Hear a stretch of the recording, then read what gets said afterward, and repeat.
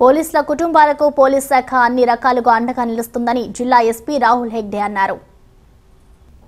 జిల్లాలో AR head కానిస్టేబుల్గా విధులు నిర్వర్తిస్తూ ఇటీవల గుండెపోటుతో మరణించిన ఇక్బాల్ కుటుంబానికి యాభై వేల కార్పాస్ ఫండ్ కుటుంబానికి అందజేశారు. ఈ సందర్భంగా జిల్లా ఎస్పీ మాట్లాడుతూ ప్రభుత్వం ద్వారా వారికి రావాల్సిన అన్ని రకాల లబ్ధి సాధ్యమైనంత త్వరగా ఇప్పించేలా కృషి చేస్తామని అన్నారు. ఈ కార్యక్రమంలో బి సూపరింటెండెంట్ ఏవిఎన్ చారీ గారు మరియు ఇక్బాల్ కుటుంబ సభ్యులు పాల్గొన్నారు.